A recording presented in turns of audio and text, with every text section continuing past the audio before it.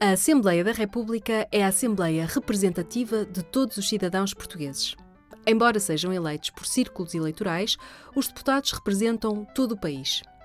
A Assembleia da República elabora e aprova leis, fiscaliza o seu cumprimento e aprecia os atos do governo.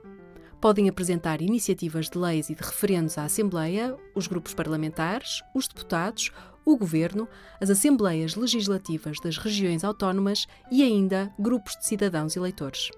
A Assembleia da República pode conduzir à admissão do Governo através da rejeição do programa do Governo, da não aprovação de uma moção de confiança ou da aprovação de uma moção de censura por maioria absoluta dos deputados. Não perca o próximo vídeo sobre o Governo